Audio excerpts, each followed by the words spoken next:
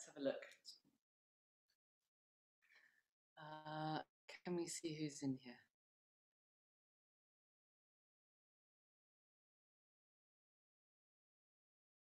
Technology.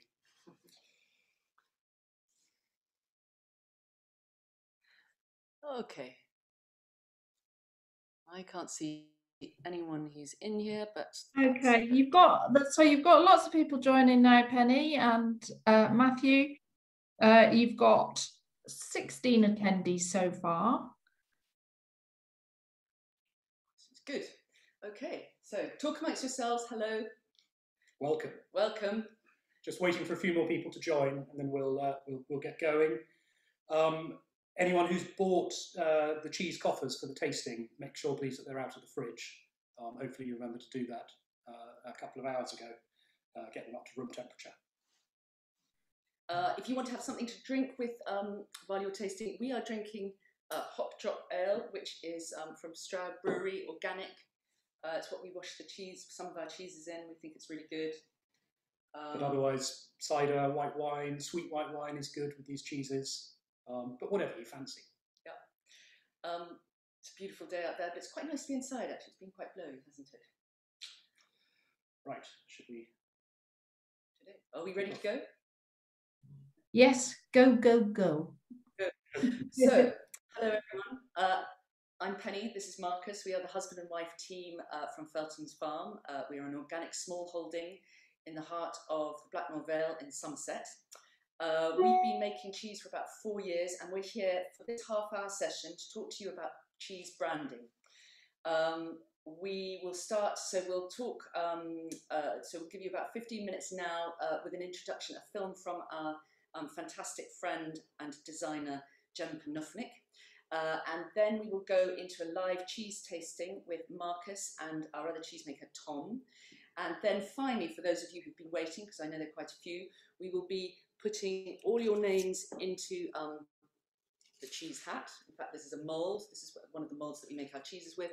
Um, and that we'll be choosing a lucky winner for one of our Fresca Margarita t-shirts. And so there's still time if you haven't registered for the t-shirt. Uh, just email uh, La Fresca to penny at felthamsfarm.com.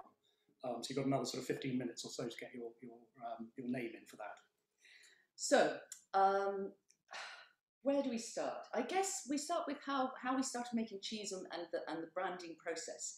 Um, so, Marcus, tell us a bit about. Uh, Um, so we're not traditional cheesemakers. Um, we sort of fell into it. I got uh, made redundant in London, uh, and I went and did a fantastic one-day course at River Cottage back in 2016. Uh, a course done by uh, Paul Thomas, who's also doing a session uh, over this weekend. Um, and I was hooked. I was hooked on the on the, the combination of, sort of science and art, and, and uh, came back home, started experimenting in our kitchen, um, and quite soon had had the prototype um, for what would become Renegade Monk, um, and knew that I was going to start building a, uh, a cheese dairy, uh, and we needed a name at that point. Um, and so, quite often cheeses are named after the local village. Um, the local village here is, is Horsington, which didn't sound very appetizing as a cheese, so we decided we wanted something a bit different. Um, Penny, over to you. so, we pulled in, we're all about friends and, and kind of working with them because we, we, we love our friends. Um, so, we pulled in a, a dear old friend of ours called Rosie Wolford. Who um, has come, has worked for all of those big advertising um, agencies, J. Walter Thompson, that kind of thing. And she is the most fantastic creative inspiration for products and helping you kind of decide who you are, what your what she calls it, what's what is your brand essence.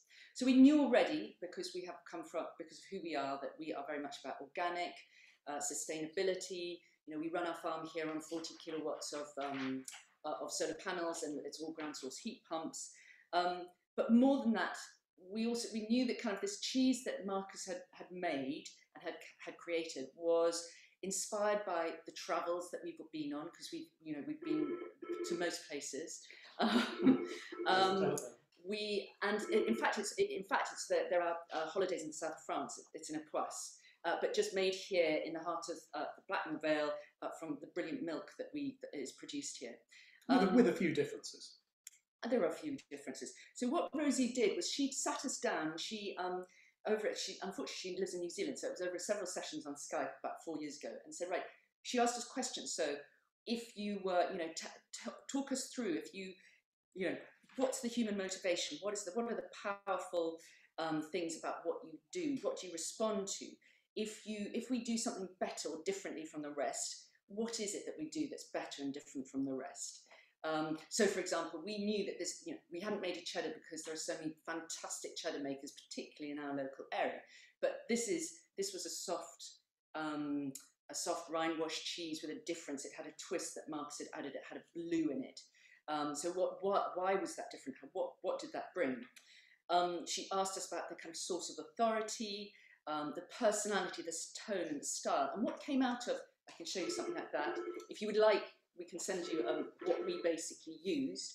Um, but she, what came out of it was that we um, we we are adventurous. We like you know we want our cheese board to be a kind of an adventure for our taste buds and for and also to kind of create a, a, source of conversation for the people that we're that, that we're eating it. Food for us is, is, is not just about community; it's almost a, it's a communion. We eat with people. Um, I know it's been hard in the past year, but that's that is that is what it's about basically. Um, also, that kind of it's what we were doing is slightly so different and slightly rebellious, kind of kicking against the trend. Um, and that we had, you know, it was very much about that kind of a, a slightly dramatic edge to, you know, how we how we present something, how we do something. So, having come up with this, uh, which is a sort of brand essence statement, uh, Rosie then gave us some homework, which was to come up with a long list of, of nouns and adjectives that seemed to reflect elements of the of our brand essence. And we took all of those nouns and adjectives and put them together in, in different pairings. Uh, and eventually we came up with this, this pairing of renegade monk, and it instantly seemed to resonate with us. Um, and it made sense for who we were, who the cheese was. Um, so to break it down a little bit, renegade because the cheese is a hybrid, as Penny said, it's a it's a blue washed rind, which is something people don't normally do. Uh, monk, because washing cheeses and alcohol is an old European monastic technique.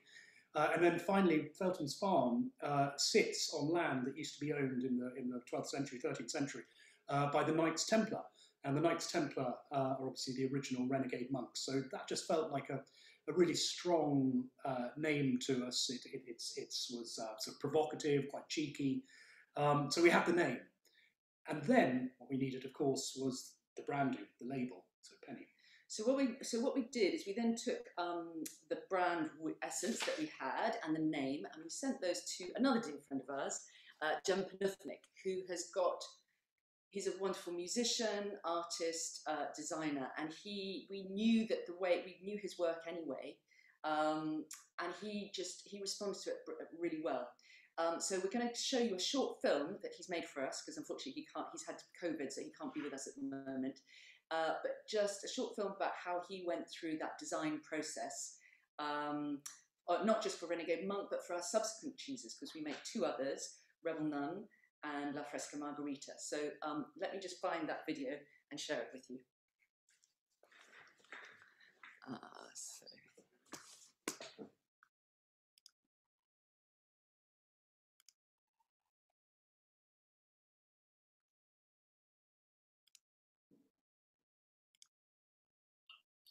Hello, my name is Jem Panufnik. I'm the designer for Feltham's Farm and Renegade Monk and other products. Uh, and it's my first ever bit of. Oops, can everyone see that?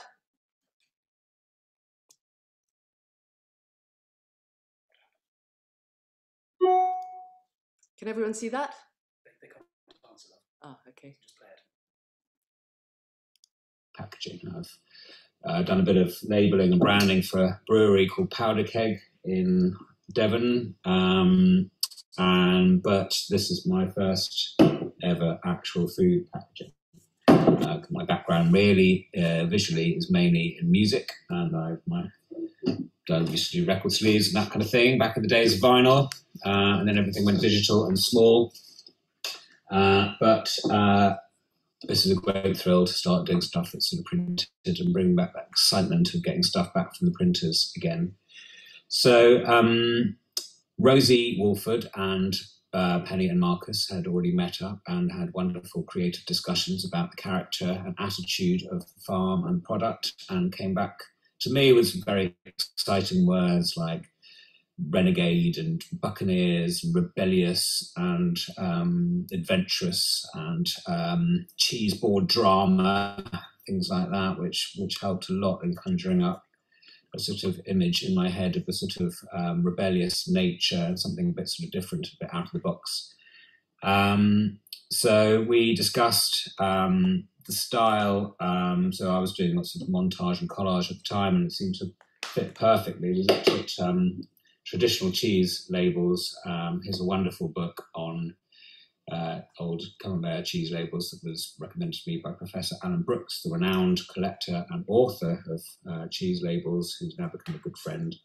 And um, there were some wonderful images, the kind of thing that we were looking at, where they sort of follow a sort of pattern, highly illustrative, uh, wonderful, hand done, where the color separations would have been done by hand, um, and uh, you know using stone litho and um, there was a sort of very traditional uh, feel, very artisan feel, which we wanted to kind of carry forward, but give it a nice, crisp, slightly sort of modern take. So, beer and monks straight away bring them together, uh, conjures up all sorts of hilarious imagery. Uh, first thing I started doing was sort of rebellious sort of monks on motorbikes on Harley Davidsons and um, swilling enormous tankards of beer and that kind of thing. Um, but uh, it was a bit too naughty and a bit specific. Uh, and really, um, the next stage was I started collecting. I've got a big collection of engravings of not just characters and landscapes, but also old Victoriana and product photos and things like that, and machines and things. So I started doing a sort of collage and a sort of montage of um, this interesting monk character, and as a sort of steampunk time trap, to give it a sort of timeless quality um, and his sort of mad, crazy mission to, to, to spread the word um, uh, and give it, you know, sort of steampunky kind of vibe. So um, that's how it developed into that. And the other sort of urgent thing at that stage was to come up with a sort of formula, sort of house livery, as, as so that would transcend across to other products, and so could be instantly recognisable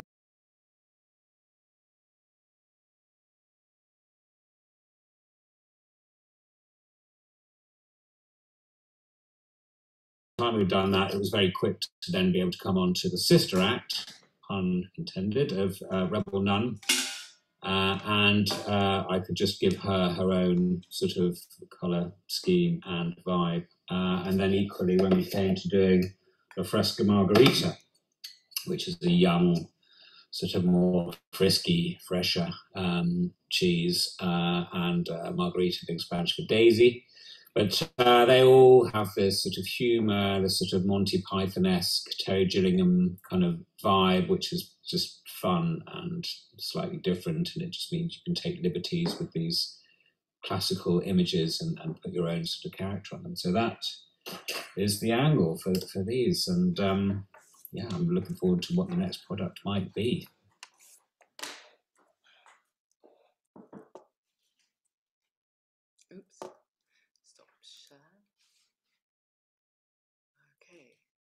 All right. So um, I think we're there. Um, can everyone, uh, I just need to check in that everyone, can anyone see? So let's have a look at that chat. Cheese board, drum and right, so people could hear. Um, let's see. Can everyone hear and see us now? Yes, we're all good. Great. Um, so we can take um, uh, some questions whilst we're going, and I'll sit to the side and try and interpret. I'm just going to introduce for a second this is Tom, our cheesemaker, Hello. Marcus, and they're going to take you through some of that cheeseboard drama now. Um, just before we start, uh, do have a look at Jem's website, which is jempanufnikart.com. He's a fabulous uh, designer and various, various pieces there uh, for sale, which look great on any wall. Um, so cheese, let's get on with the cheese tasting.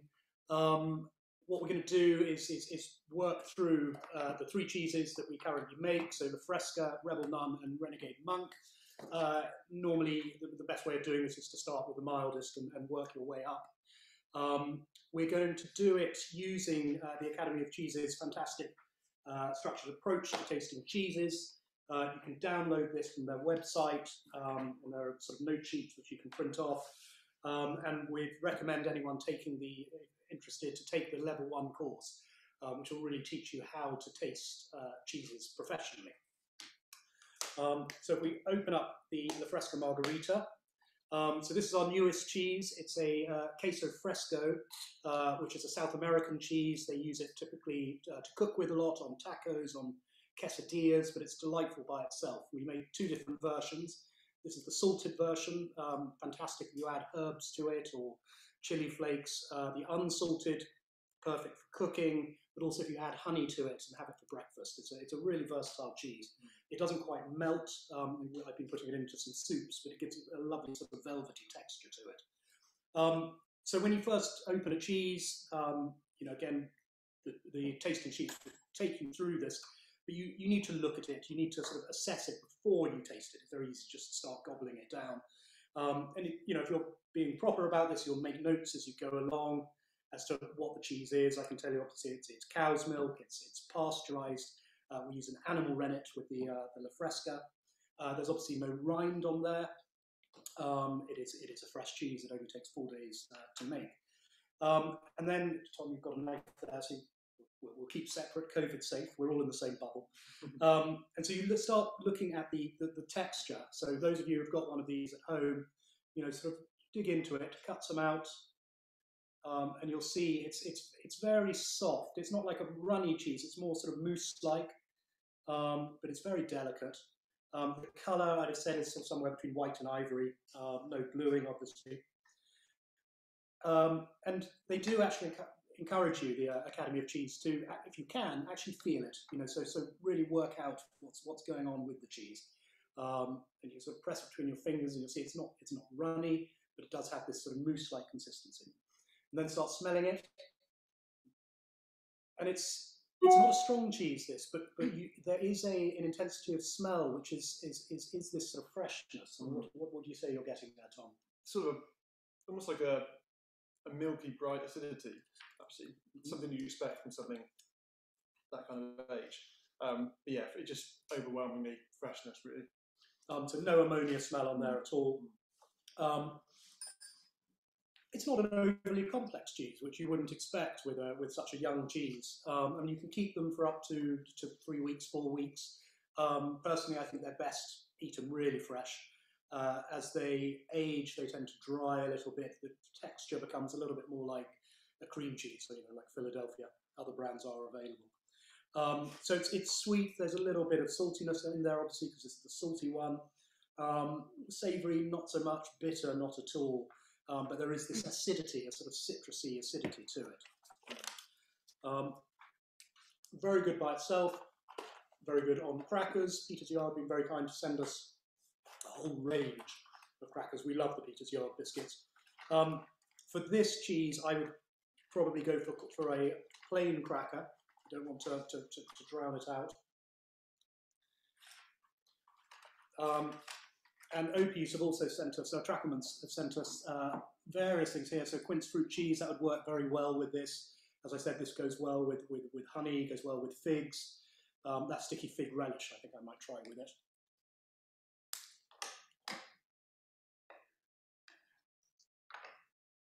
Um, I would say this is, I'm, I'm the cheese maker, but I do find this particularly moreish.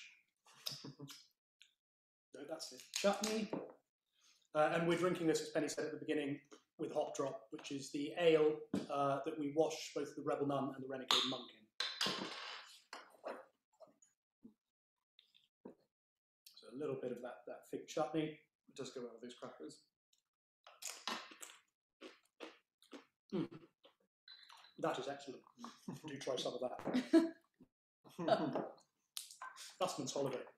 Yeah. Okay, so that's the Fresca. And we haven't been producing it for that long. It's our lockdown cheese, and we we came up with it because, unfortunately, last year we had to throw away quite a lot of cheese, um, even though there are lots of wonderful initiatives uh, like the British Cheese Weekend, like the Cheese Awards, to help us spread the word. But inevitably, there were cheeses that didn't get out the door in time. the joy about the Fresca Margarita only takes four days to make. We can make them to order. The hard thing about it is the uh, relatively short shelf life, so we need to get them moving. Uh, but you can buy this directly from us, and it's beginning to go to uh, sort of retail um, outlets around us. Uh, wholesale we're, we're, working on. Um, I know uh, James at number two Pound Street is, is, is, keen on it, he takes it. Um, so ask around, demand it. So then we come on to the Rebel Nun. So the Rebel Nun is similar to Renegade Monk, which we'll taste at the end.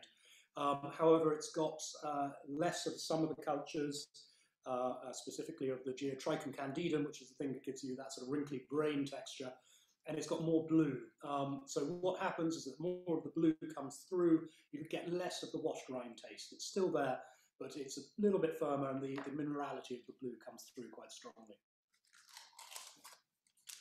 Um, so I don't know if you can see there that you can. There is actually a little bit of bluing there on, on, on the rind. Um, they are both blue cheeses, but because of the washed rind, uh, you very rarely get blue on, on the rind, and certainly never in, in the centre. um, um, hold on, I've got a couple of questions coming in from uh, the floor. So um, Penny Barr has said that's um, would it make a good cheesecake that Fresca margarita salted? Probably not the salted one. I'm afraid. Um, so the plain one, yes, would be fantastic in a, in a cheesecake. I think I think the salt the salt that we add to the salted version is not going to be uh, pleasant. I'm afraid. Um, just one more question. This one's from Tracy saying, "Is Hop Drop our local ale?" It is the nearest organic ale uh, to us, um, and it's surprisingly difficult to find. So we, when we started, and we didn't have organic status, uh, we bought our ale from Frome, which is only about 10, 15 miles away. Um, and when we went organic, the Soil Association insisted that we used an organic ale, even though it's such a tiny percentage of the, the overall cheese. Um, so we had went through quite a long process actually of tasting lots of different ales to find one that replicated the same flavour that we were getting uh, with the, the original ale that we used. So yes, it's it's it is the closest organic ale to us, but it's probably about 40 miles away. Um, we prefer it to be more local, but if you're going to be organic, you have to take the pain sometimes. Good. Right. So the rebel nun. So this is is quite a young nun. Um, it could probably do with another four or five days uh, maturing. Um, some people like them young. Some people like them right towards the end of shelf life, which is about eight weeks from when we wrap them. Um, so if you've got one of these, um, my advice would be don't eat it all at once if you can control yourself, uh, and, and see how it develops over, over the next week or two. Wrap it up so that it doesn't dry out uh, in the fridge and, and, and, see where you get to. Um, so with the Rebel Nun and the Renegade Monk, uh, again, it's cow's milk, it's pasteurized, but we use a vegetarian rennet. Um, have a look at it. Again, go back to my sheets. These are incredibly useful, these sheets. You know, I think I know what I'm talking about, but actually having this to refer to is, is, is very helpful. Uh, it's got a washed rind. It's quite pale, this one. Uh, sometimes they will go uh, more of an orangey hue.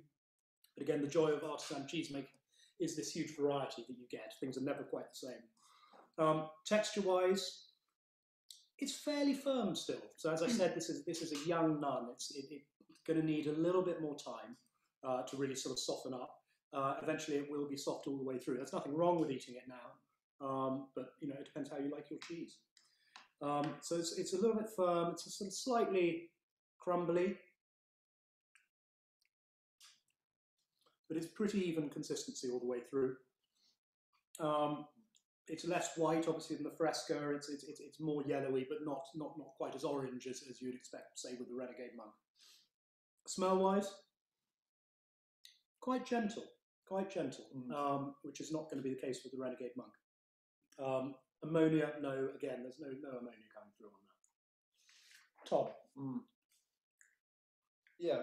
Um, in terms of flavours, you because they're young, you start to get a, a slight milkiness, um, sort of sweet acidity, with also a kind of bitterness. Really, I think, in an equal between those at this age. Um, obviously, the rind having the predominant sort of uh, stronger and heavier heavier flavours.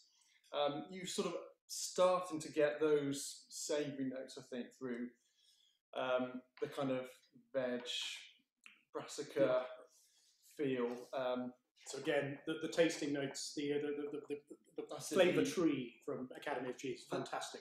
yeah, the sort of um, the fermented flavours are beginning to push their way through, really. Um, but yeah, I mean, it's it really depends on how you like it. Like Marcus said, which all the way through, you'll we will find different flavours with it too. But uh, but no, certainly, I'm you're beginning to really get the essence of that rind washing. And I'm getting so again taking words from the sheet. I'm getting a sort of it's vegetableness, it's brassica coming through there, but also the minerality, the mineral taste from the, from, from the blue there. Mm. Um, just have another little piece of this. Uh, and what should we try with this one? I'm going to try. I'm going to try the apricot and ginger chutney because I can. Absolutely. Something to drink with that? I'm, I'm enjoying myself. Yeah.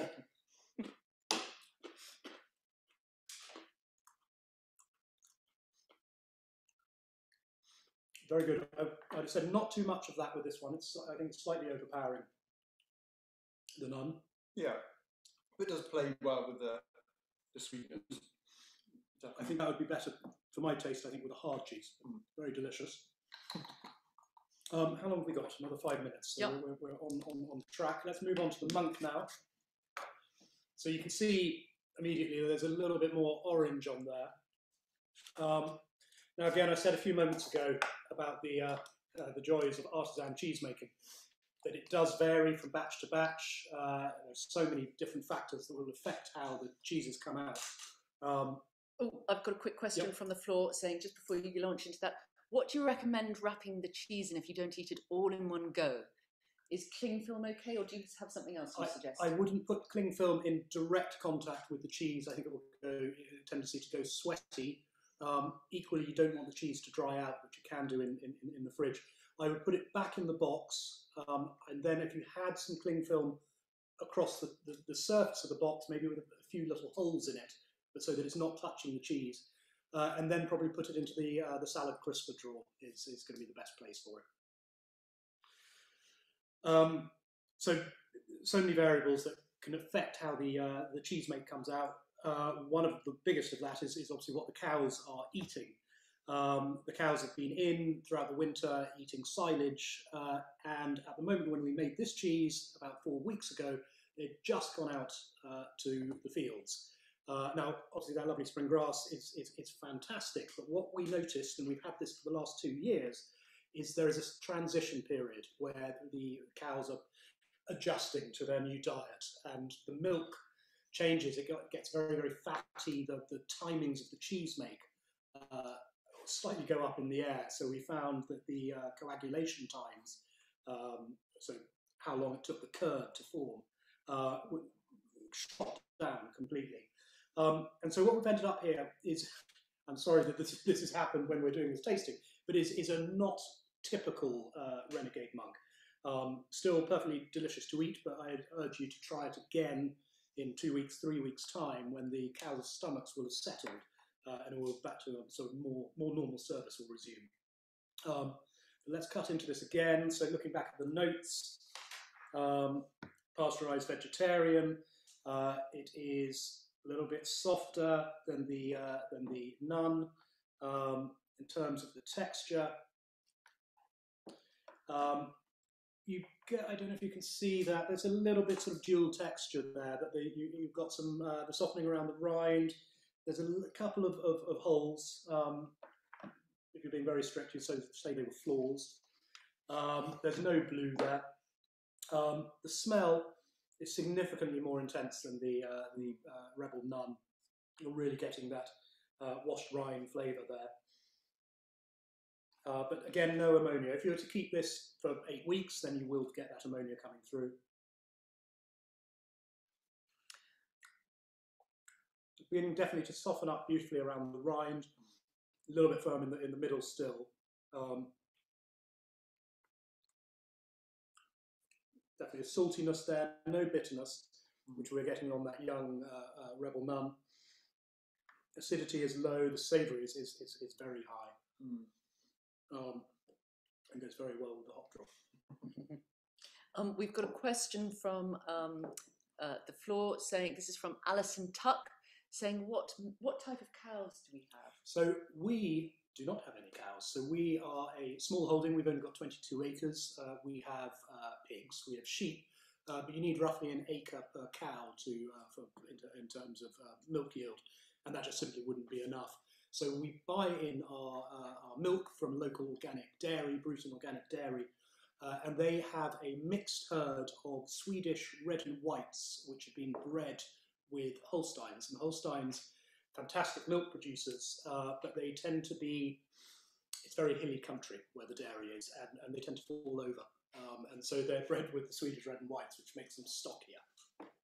Um, a couple more comments. Uh, Penny Barr saying that's superb cheese. Thank you, Penny. um, Jan Peter Ausnes saying any particular reason for using vegetarian rennet? So I used vegetarian rennet on on the Renegade Monk when I started. Uh, partly because I, I could, I wasn't following any recipe, I was, I was, I was freestyling. Um, and we sort of did it for commercial reasons of thinking that will expand our potential audience of, you know, some people are concerned about animal rennet. Um, I mean, veganism is obviously on the rise. These are obviously not vegan cheeses. But we thought, well, why shut out a potential uh, market for ourselves? So we went with the vegetarian rennet. Um, there is an issue, there can be an issue with using vegetarian rennet, that it can make your cheese more bitter. Mm. Um, so that is something you have to you have to watch for. Um, why did I use animal rennet with the La Fresca? Because I thought I'd give it a go. Um, a couple more comments. Um, somebody saying um, Meredith Radke saying, "Wow, have been waiting to try the Renegade Monk and it did not disappoint." Excellent. Very pleased to hear that. Thank you. But do do try it again in, in, in a couple of weeks, two mm. weeks, three weeks, a month's time. It will be uh, subtly different. And I think we're kind of at half an hour. Uh, we're at that time, so. I think it's t-shirt time. All right. so the moment you've all been waiting for. Here, in fact, we've switched because we've had so many in. Um, honestly, you've done yourselves proud, everyone. Everyone likes a free t-shirt. So it's basically this t-shirt that we're drawing for, the Fresca Margherita, because that's our newest cheese. Um, so this is all of these kind of just the entries we've had. Uh, I'm going to, actually, I'm going to ask Tom because he's wearing it to um, choose a name out of there. You might, he might not be able to read my okay. writing, so if he can't, he'll hand it to me. And the winner is uh, Camilla Kennedy. Camilla Kennedy Harper. Harper. She may not be on because actually I've just been dealing with a few messages from people who who couldn't get on. So um, Camilla Kennedy Harper, you won a T-shirt. to you. Um, you can, of course, this is a blatant plug, buy the t-shirts. if you were unlucky enough not to win, you can buy them uh, from our website. And obviously, monks, nuns, and frescoes are all available, as are the cheeses. Um, thank you very much for your time, everybody. Um, any other questions when we're off, do feel free to email us. Oh, yes, uh, info at felthamsfarm.com.